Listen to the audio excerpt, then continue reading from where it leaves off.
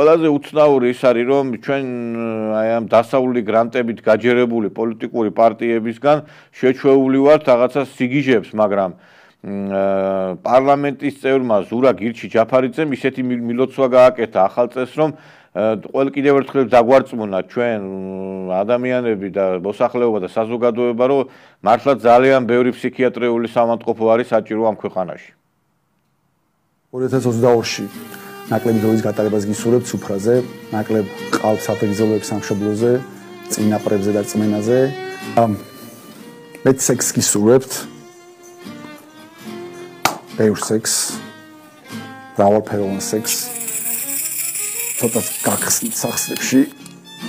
ხასიათზე მოგიყვანთ.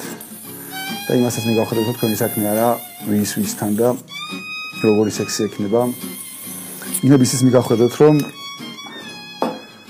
ღმერთი უკიდურესად პრიმიტიული არსება უნდა იყოს რომ მართლა იმის მიხედვით არჩევდეს ვინ დაუშვას 64-ში და ვინ ჯოჯოხეთში ვის ვისთან და რა ფორმის სექსი აქვს.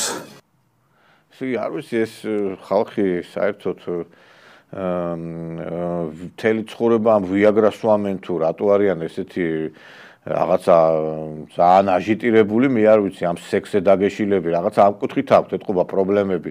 მე რაღაც პატრიოტული სადღეგრძელოები და წინაპრების სადღეგრძელო არ დალიოთო, მე რაღაც ორიგინალურ სექსეო და მრავალფეროვან სექსეო. ერთხელ კითხვა ამან, მეო ჩემი პირით, რასაც მინდა იმას გავაკეთებო და ეხა თავისი პირით რაცაც უნდა და როგორც უნდა ისეთი რამე გააკეთოს და ისეთ მრავალფეროვან სექს მიმართოს, მაგრამ ყველაზე სამწუხარო ის არის რომ ეს ეს ვაჟბატონი არის საქართველოს პარლამენტის დეპუტატი და ამას ხვდება ამერიკის ელჩი და ამას ხვდება ჩვენი ევროპელები და ეს განიხილება საქართველოსში ქართული ოპოზიციის ერთ-ერთ რაღაცა ლიდერად. და ეს არის ყველაზე სამარცხინო თორე. ვისაც უნდა და როგორც უნდა ისეთი მრავალფეროვანი სექსი კონდეს